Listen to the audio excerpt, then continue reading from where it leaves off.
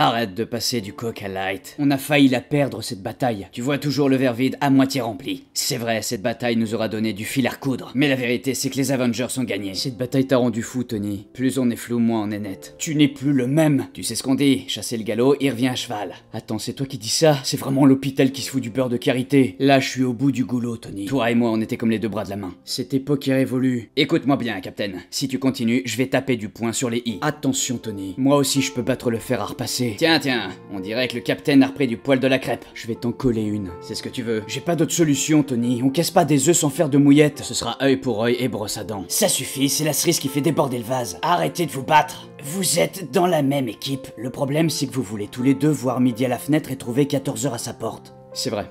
Je suis désolé, Tony, je peux t'offrir un verre pour me faire pardonner. Un verre de rhum. Et comme on dit, le rhum ne s'est pas fait en un jour. Ouais, heureusement que tous les chemins mènent à lui.